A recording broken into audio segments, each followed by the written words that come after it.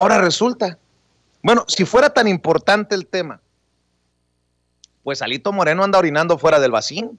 Mire qué tan ocupado anda el presidente nacional del partido.